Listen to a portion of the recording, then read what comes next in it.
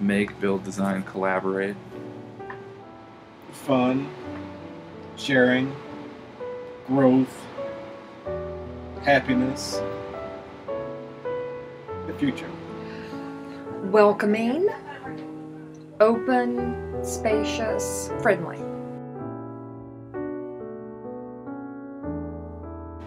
We all listen to each other, and I mean, students and faculty, and whether it's fashion designer, interior designer, merchandise. The structure is amazing. We've identified five different tracks for young professionals to begin a career in the world of design, and there's really a little something for everyone. I love that we're a small department and our interaction with the students. There's a sense of home, like uh, in a creative way.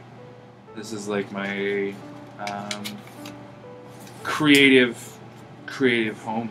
It's really home, if you will. And it's part of am.